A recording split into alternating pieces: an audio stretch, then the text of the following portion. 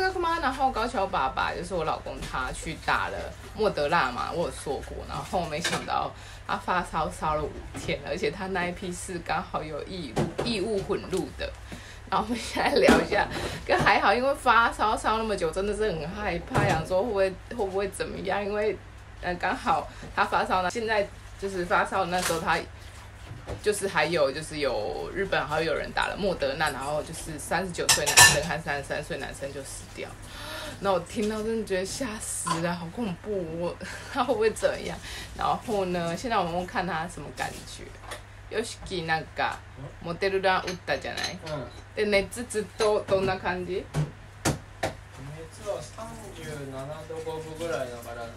すごい高いわけじゃないけど、あまあ頭痛がやまないずっと頭痛ずっと頭痛うんそれと鼻水がすごいんだけどなんか蓄膿症みたいな症状が出た。うん小さい頃喘息持ちだよね、ううん、で蓄膿症と頭痛と疲労感。倦怠感。倦怠感どどんな感感じ？力が入らないだるさとひどい肩こりの時みたいな感じああずっと1週間続いた5日間ね。5日間かな。そう早く早めに寝てたよね。本当に怖かったわ私が予約したししかも異物購入したロットを載ってるからそれ調べてあまさか高橋馬場が 注射したやつやばかった。作った時入ったよね。でで何だっけ？今日はなんかニュースで言ったよね、ペンとかゴムなんでしょ？うん、でもなんかでもな、まあ、まあ今は大丈夫でした。なんか1回目でそんな1週間ぐらい微熱ちょっと怖い。2回？普通うん？ううつ？もうで今なんか日本も医療崩壊してるね。あなんで？わざと？どういうこと？国は補助金をあの医療機関に出してる。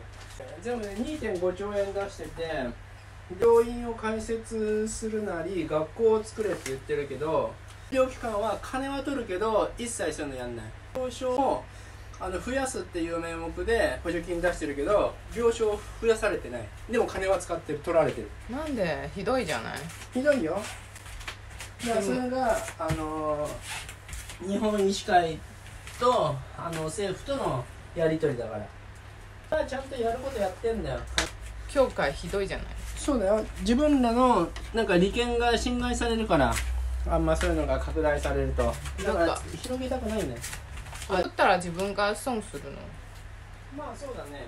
簡単に言えばうんと。な面白いよこの人。はい。じゃあだからなんかもう日本は1年前に 1, 1億5000万も1ら兆5000億。お医師会にあげて医者お医者さんと、まあ、まず病院を増やしてください、うんうん。で結局全然増やしてないよね。金も病床も増えてない。病病床も増えてない。理由としては今の既得権益者現在的医生40年も医学部大学の医学部は増やしてないよ。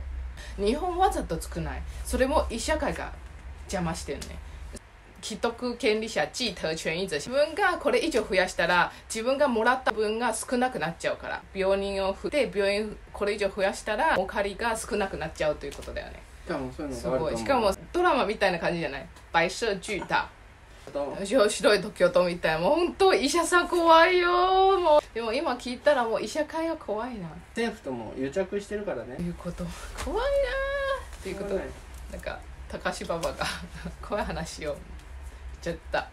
じゃあ今日はここまで。チャンネル登録よろしくね。